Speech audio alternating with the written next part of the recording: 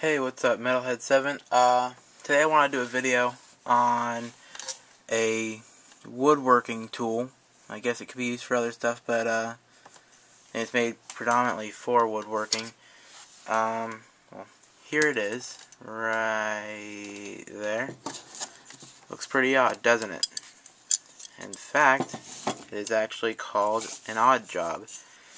This does tons of stuff. Don't know if any of you have seen it. Looked not many videos up on YouTube about it. First off, you got a ruler. It's got centimeters, got inches. Um, you got a level, so you can measure if something's level, which looks like my desk isn't level. Anyways, uh, next up, let me get this back in. Alright, you got a scribe point. So say you had to make a line across the edge of a board. You put that point down and run it across the board. It'll scribe a line on there for you. It also has a little screwdriver. Don't know if you can pick that up. But the screwdriver you use right there. There's a little screw and you take that and you gotta actually get it in. Alright. So you put it in, you're turning, and, and let's, there you go. Oh, let's put it back a little bit. Alright. So now you have that. That is a pivot point.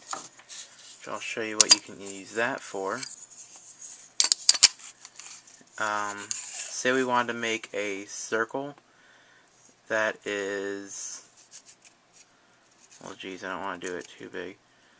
Alright, we'll do an arc that is about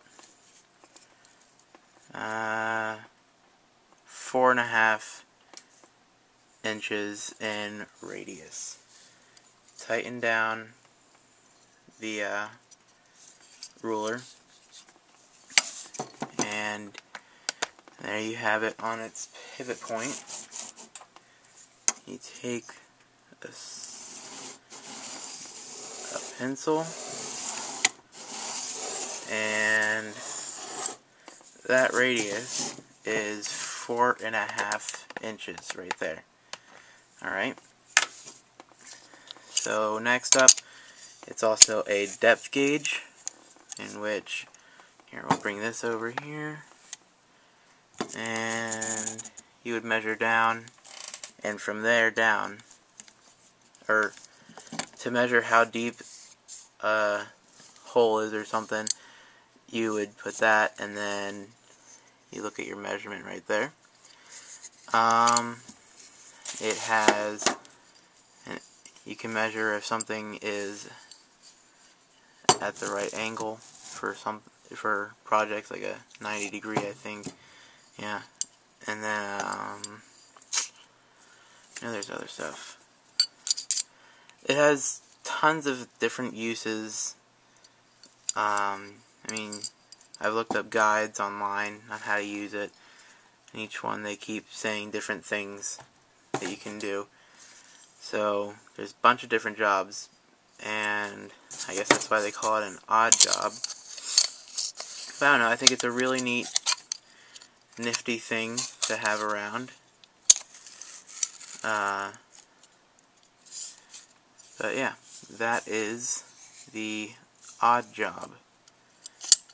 Anyways, I'm Metalhead7, and you guys have a nice day.